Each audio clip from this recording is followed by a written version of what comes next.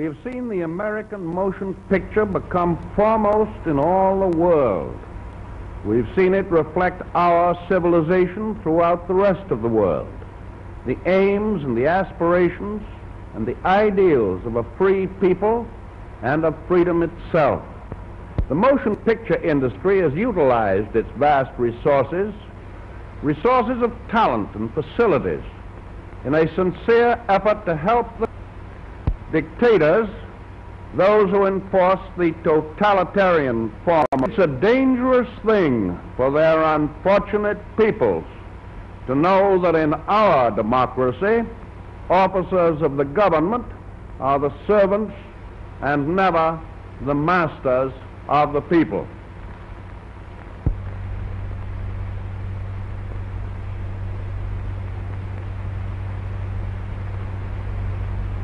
Thank ah. you very much, sir. It's a great thrill to me to receive in the picture you did called Philadelphia Story.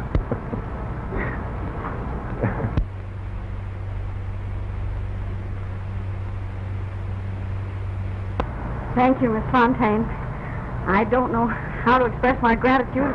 I don't know how it happened, but I have it in my hand, but I have. And I'm indeed grateful.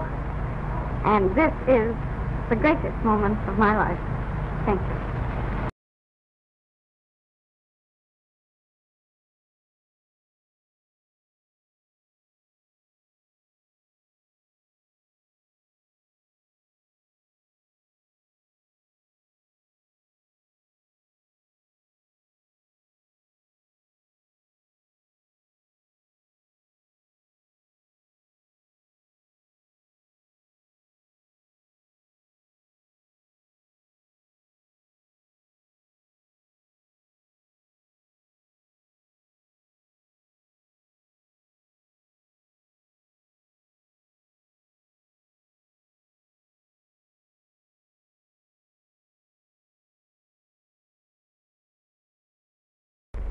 They're off. At the break, it's Royal Crusader going to the front. A beautiful is second. The Bayview is next on the outside. Hysterical is moving up, and Emil and Porter's Cap are racing close up. Coming by the stand the first time, it's Bayview in front by a head. Sweet White is second on the outside by a half a length. Hysterical is third on the rail by a half a length. Porter's Cap is next and moving up on the outside by a half a length. Woof Woof by a length and a half. Can't wait. And a beautiful on the rail around the turn. It's Bayview still in front by a one length. Sweet White is second by a head. Cap is third on the outside. Bayview in front on the inside by a head. A Sweet White is second by a one length. Porter's Cap is third by a head. Can't wait is fourth on the outside by one length. By County is next on the rail by a head. Hysterical by a length and a half. And there goes Mioland and General Manager on the outside into the stretch and it's Bayview in front by a length and a half. Mioland is second by a length and a half. Sweet is third by a head. Hysterical is next on the inside into the stretch and it's Bayview in front under the whip by a half a length. Mioland is second and driving on the outside. And there comes Bolingbrook. It's Bayview and the Mioland. It's Bayview and Mioland is going to be a driving finish as they come across the line. It's Bayview by a half a length. Mioland is second by four lengths. And Bayview, a 50 to 1 shot, is the winner.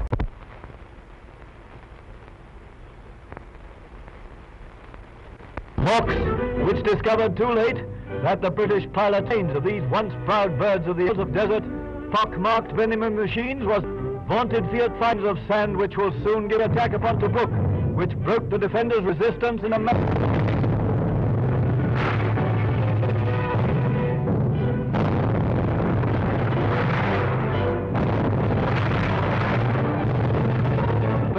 between them and their objective of stores and ammunition Italian soldiery and bombardment, Tobruk is uncannily silent as our troop surrender is complete.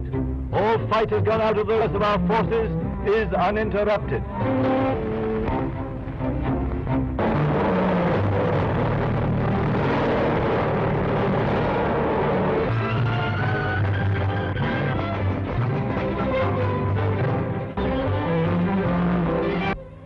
Now, did I say they looked a relieved, crowd?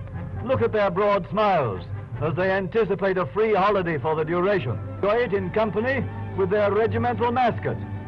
And, of course, there's yet another reason for their smile. Expression on the faces of these Italian women. Benito Mussolini Street has got it where the chicken got the axe. This is naval and military almost beam at the camera as a British officer invites them to pose for this picture. Months ago, their Libyan magician, the disappearing Graziani, promised they should go. What could be fairer than that?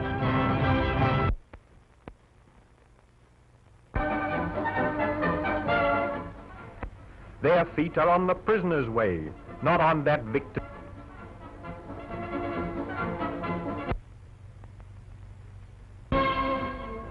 These four generals include divisional commanders, first big batch of prisoners to arrive in Bombay on their way to an internment camp, and their first attack, and fought in a manner to make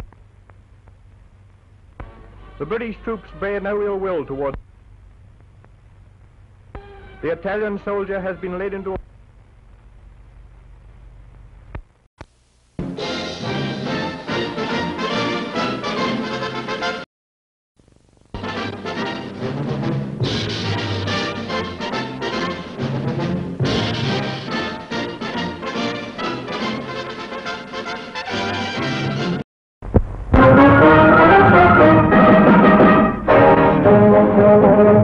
General MacArthur springs another surprise on the groggy Jap forces. Men of the 1st Cavalry get set to go ashore on Los Negros Island in the Admiralties. First, naval guns shell Jap batteries on the island, driving the enemy inland.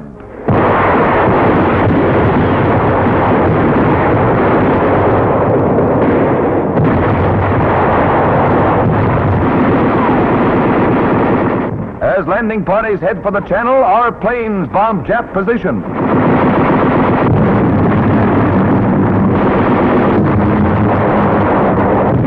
This is part of the combined Pacific drive that has almost completely shut off 72,000 Japs from their home bases.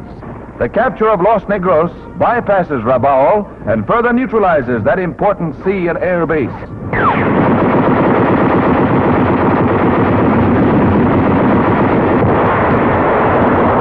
The island contains a vital airstrip and places MacArthur's forces many miles closer to the Philippines. Signal Corps pictures show the general inspecting the strategic prize.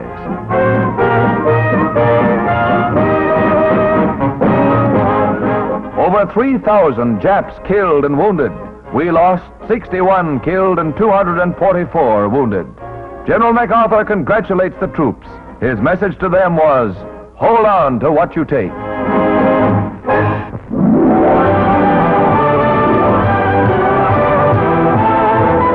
Generalissimo and Madame Chiang Kai-shek inspect the Composite Wing, a unit of young Chinese airmen trained in the United States and under the command of both American and Chinese officers.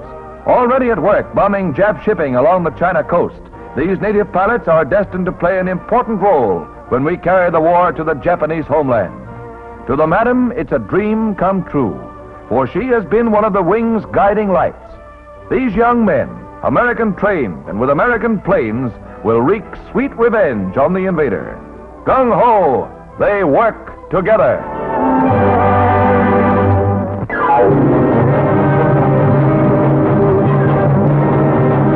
With Berlin in ashes, a desperate Luftwaffe strikes back at London with telling effect.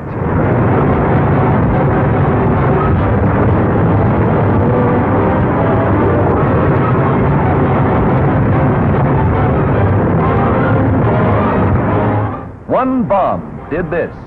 Use your imagination for Berlin. The king and queen visit bomb victims, and a chicken's a chicken these days.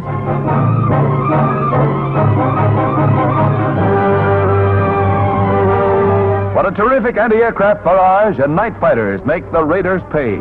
It'll take more than this to halt the winning Britain.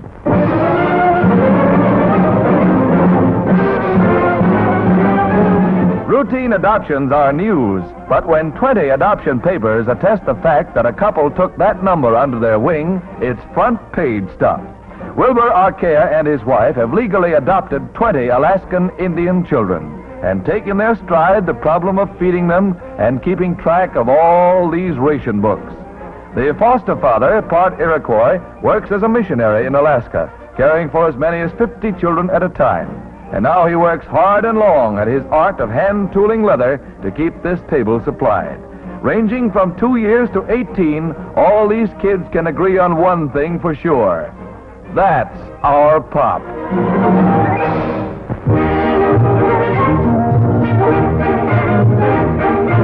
RDX, most powerful explosive in existence, more deadly than TNT. It's so dangerous in the raw state that it must be stored underwater.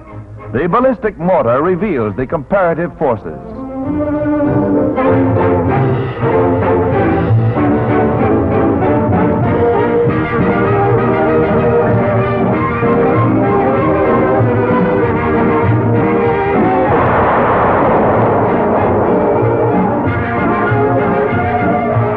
RDX was known both to the Axis and the Allies, but it remained for the Allies to harness it, as shown at a Canadian military laboratory.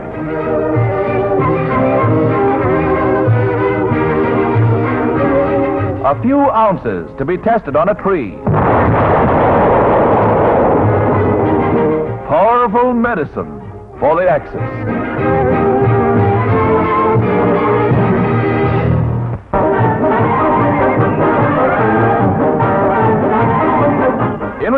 To the waste paper salvage drive, huge trucks loaded with bales of waste paper roll up to paper mills like McEwen Brothers in Whippany, New Jersey every day.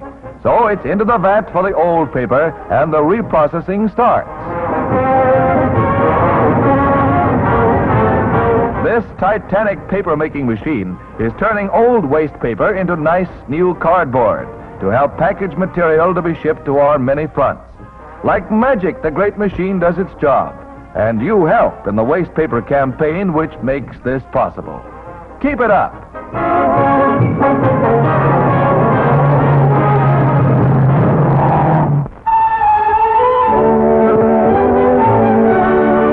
Ruth Reeser, directress of the Veneta League, judges winning hairdos at the league's first annual hairstyle show in New York. This smoothie was designed for women in civilian volunteer war work. Easy to groom, yet smart. The winning hairdo, styled for women in the armed services. The object of the contest was to discover the best coiffures from the standpoint of beauty, simplicity, and ease of grooming. Safety for defense workers. The seventh column, a sleek hairdo that will fit snugly under helmets worn in war plants, preventing accidents. For the Red Cross lass, a worthy cause, remember? And with a seagoing tilt, we say, Ahoy!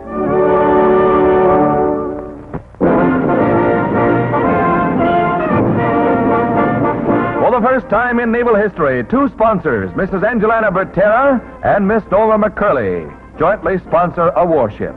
It's the USS Springfield, named for Mrs. Bertera's hometown in Massachusetts and Miss McCurley's hometown of the same name in Illinois.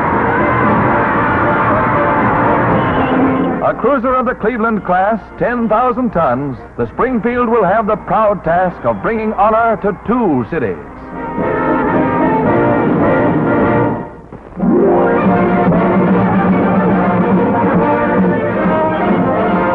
Nemesis of the U-boat, the blimp has played an important role in keeping our sea lanes open. And today, 10 of the training type go aloft for mass maneuvers. They are being manned by cadet pilots who have completed their training here at Moffett Field, California. These smallest blimps are used only in training and plenty difficult to fly in formation because of the wind drift. These men go to sea in patrol blimps, so if there's a U-boat left along our coast, it had better duck for home.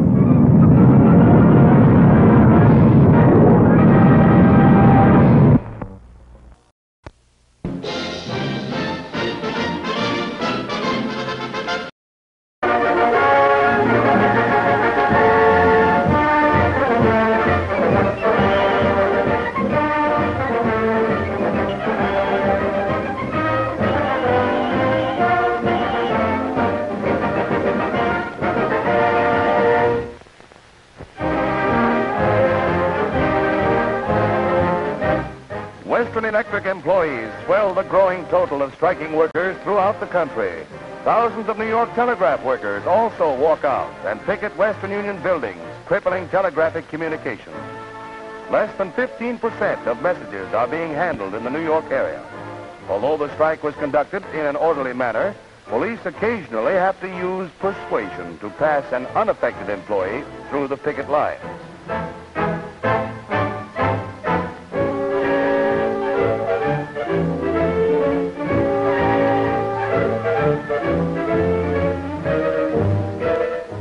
Orders to the pickets and instructions are relayed from sound trucks. Sympathy demonstrations have disrupted a great portion of transatlantic traffic received in New York. But in Detroit, the labor picture has a brighter side. A new management labor pact is completed as Henry Kaiser affixes his signature to the agreement under which cars will be built at the former Willow Run plant. UAW leaders sign for the workers. Joseph Frazer, Kaiser's partner, voices satisfaction. The negotiations which have just been concluded were carried on in the greatest spirit of friendliness and mutual understanding. And at Willow Run, we look forward to long years of peace and harmony in the production of our fine transportation for the peoples of the world.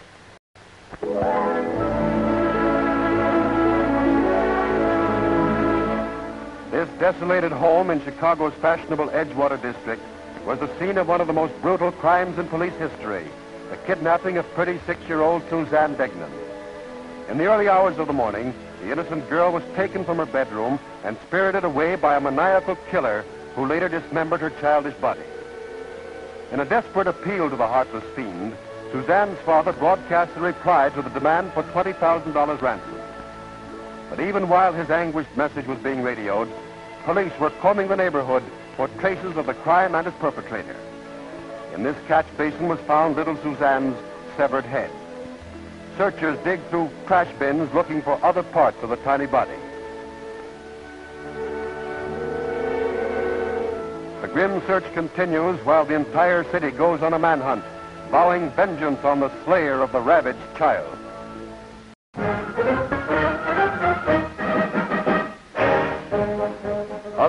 Gathers at New York's Pennsylvania station to welcome the legendary Coast Guard mascot, Sinbad. Most famous sailor aboard the cutter Campbell for the past eight years, he has traveled more than a million miles, hitting port in all parts of the globe. But everybody needs a medical checkup, especially Sinbad, noted far and wide for his rum and beer drinking habits. But it's enough mates to bore you to death. Sinbad studies a map of his travels, which appears in his biography, before calling on Admiral Edward Smith. But Sinbad has little use for officers and will only drink with enlisted men like himself. Do you think on the morning after he needs the hair of the man who bit him?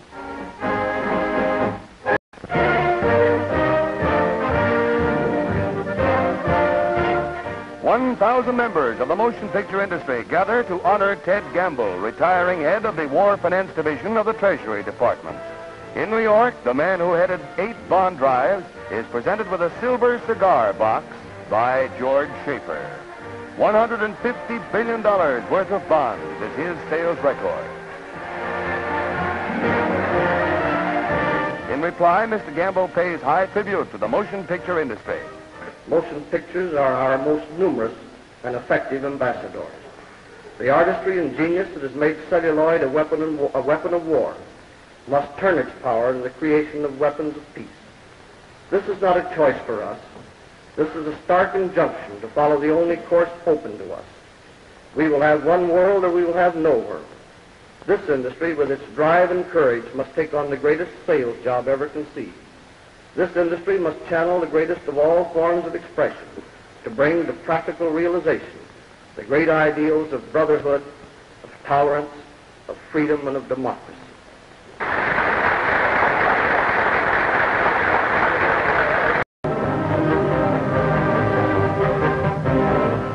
Goods destined for occupation troops in Japan go up in smoke as fire races through an 8th Army warehouse in Yokohama. Within 10 minutes after the blaze was discovered, the building was a raging inferno and little could be done to salvage any of the stuff. Watches, pens, cigarette lighters, athletic equipment, and games were included in the loss.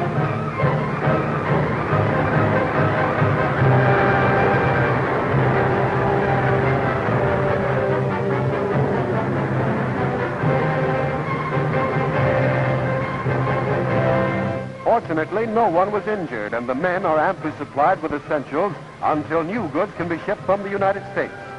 Japanese joined with Americans in battling the blaze that proved so costly to Uncle Sam.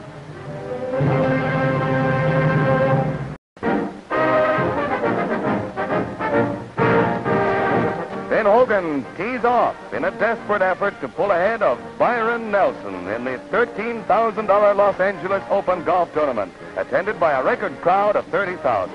Dutch Harrison winds up a long one that just misses, coming in seven strokes behind the winner.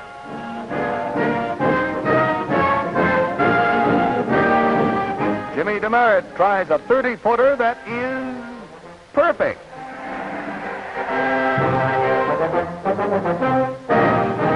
Lord Byron, after cracking the outgoing nine in a par 35, can afford to blow one.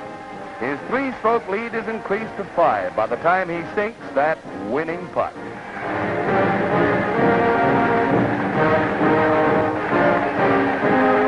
$2,666 in victory bonds, not to mention the 67 cents are the victor's award. But top prize is for free from this charming golf enthusiast.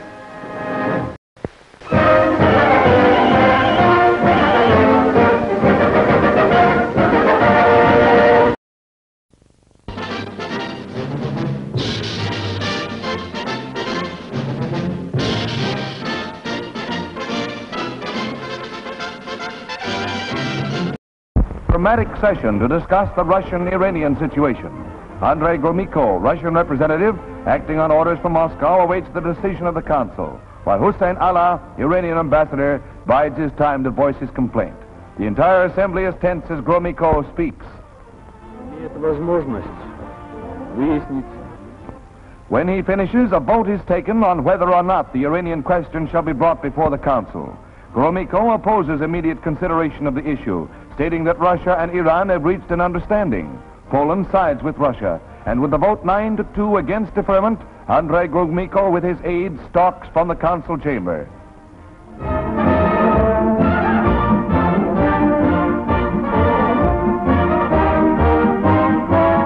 This is the climax to the meeting convened to preserve world unity. The Russians leave, vowing not to participate in any discussion that concerns the Iranian question at this time.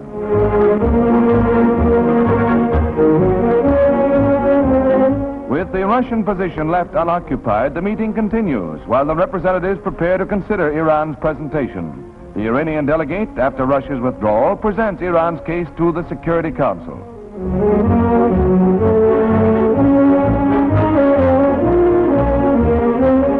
The entire assembly weighs each word, the Iranian ambassador, Hussein Ala, denies that his country made any binding military or commercial commitments with the Soviet government. I realize that the question of whether to proceed at once or to delay is a matter for the Council to decide. For my part, I am prepared, pursuant to my instructions, to proceed with the presentation of the disputes which unfortunately have divided my country and its northern neighbor. I consider it necessary to do so at the earliest opportunity. And may I say once for all that I know of no agreement or understanding, secret or otherwise, having been entered into between my government and the Soviet Union with respect to any of the matters involved in the disputes now referred to this council. Iran has suffered and is at this moment suffering from interference in its internal affairs through the intervention of Soviet agents, Soviet officials, and armed forces. The presence of foreign forces in any country constitutes not only an infringement of the sovereignty, but also a heavy burden on the people and an interference in their daily life. The seriousness with which the people all over the world, as well as the people of Iran, regard this state of affairs is testimony to the fact that delay in the settlement of this dispute is a threat to world peace. In Tokyo, General MacArthur welcomes a distinguished visitor from New York. Former Police Commissioner Louis J. Valentine assumes a new role, that of streamlining and modernizing Japan's police setup. His first official act is to inspect the traffic problem. Later, he'll give crime busting the benefits of his New York technique. He'll put the nip into Nippon. The Navy draws the veil of secrecy from another wartime winner. An aerial television camera is loaded into a test plane for a series of striking tests at Anacostia. Special aerials serve the electronic camera, which is mounted in the nose of the plane. The test is on.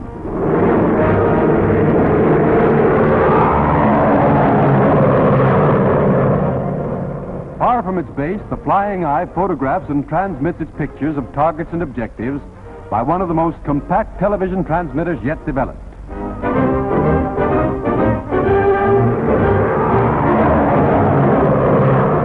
The camera is aimed at a desired objective, and at Anacostia, 40 miles away in the television room, an image takes shape on the screen. The picture of a dock is brought right into the staff room. It was this kind of information that led to the sinking of several Jap ships in the Pacific. In actual war, this powerhouse could have been seen and written off by commanders as far away as 200 miles. Not even the nation's capital can hide from the flying eye. Another example of war-born genius.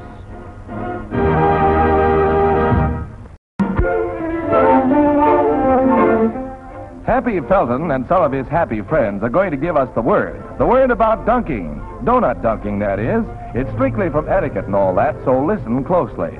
First, we see Happy himself fairly serene about the world in general and dunking in particular. However, his neighbor prefers the grab and bite style. Don't be afraid of the donut. It can't bite back. Of course, if you're not sure, go after it with two hands. According to the word from the Dunking Association conclave in New York, compounding a felony is the only thing that's taboo, along with spilling on the old lady's new tablecloth. Okay, so she hasn't got a tablecloth.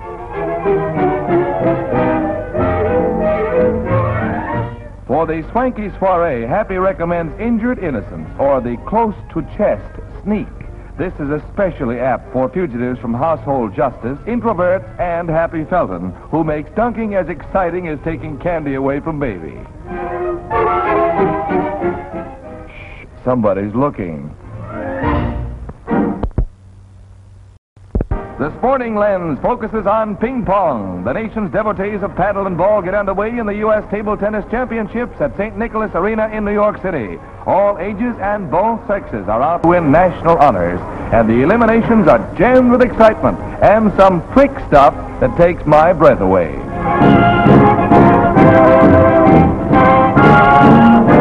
Laszlo Bellak is a worthy opponent. In fact, he's dexterous, ambidextrous, and pedidextrous. If you give him an inch, he'll take a foot.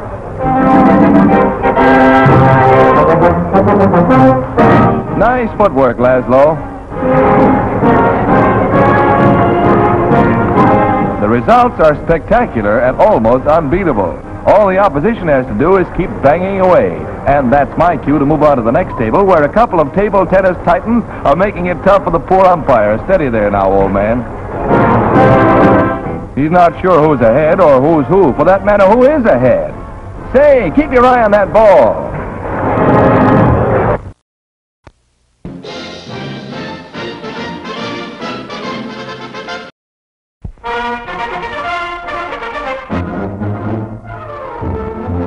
Five hundred proud members of the 442nd Infantry Regiment, mostly American-born Japanese, swings down Constitution Avenue in Washington for another ceremony in their honor.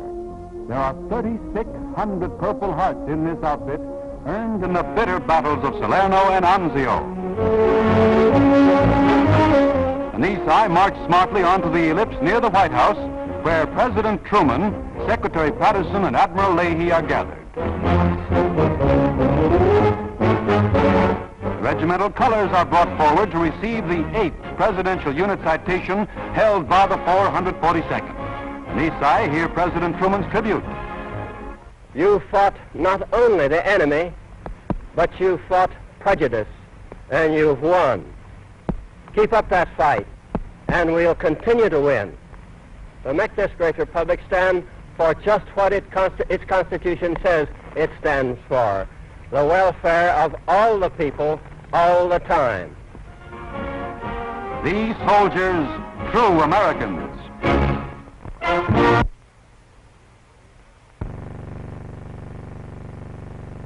picturesque royal palace at Bangkok in Siam is the scene of a mysterious shooting which caused the death of the 20-year-old ruler, King Ananda Mahidol. People gathered to read the death notice of a popular young monarch who reigned since 1935. The death of the quiet, studious young king was variously attributed to accident, suicide, or assassination. Officials examined the Colt 45 which fired the bullet through his brain in these sleeping quarters. In the throne room, fabulously rich in gold and jewels, the dead monarch's remains are guarded by Buddhist priests.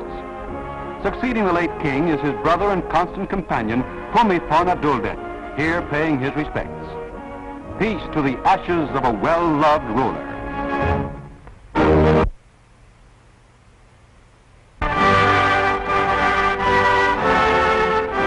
At Lakehurst, New Jersey, men of the Navy march in review and blimps dip in salute as the Navy's lighter-than-air Pioneer terminates 32 years of naval service. Admiral Charles Rosendahl retires with full military honors with the thanks of a nation for the role he played in the development of dirigibles and blimps.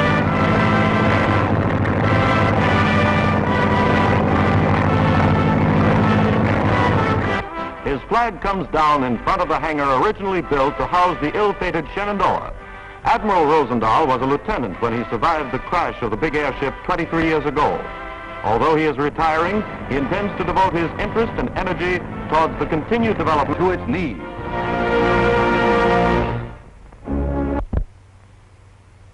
Among the hosts of movie celebrities flocking to Portland, Oregon are producer Walter Wanger and his wife Joan Bennett. And no party would be complete without genial Lou Costello to lend a laugh. The Hollywood crowd is treated to a royal welcome, a staged manhunt, and a real wild western jubilee.